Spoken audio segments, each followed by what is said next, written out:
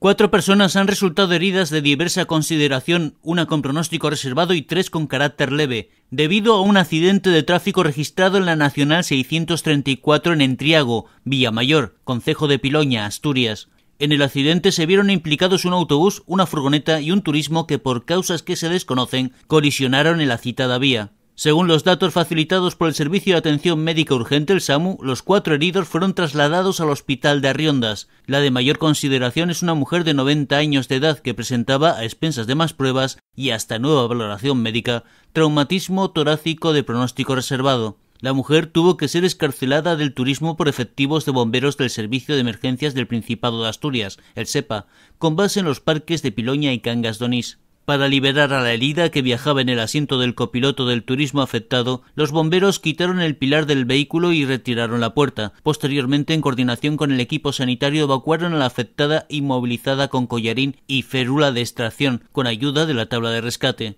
Los otros tres heridos, de carácter leve a falta de más exámenes y hasta nueva valoración médica, también fueron trasladados al mismo centro hospitalario. Se trata de una mujer de 33 años de edad que presentaba policontusiones, un menor de 17 años de edad con dolor en una rodilla y un varón que presentaba dolor lumbar.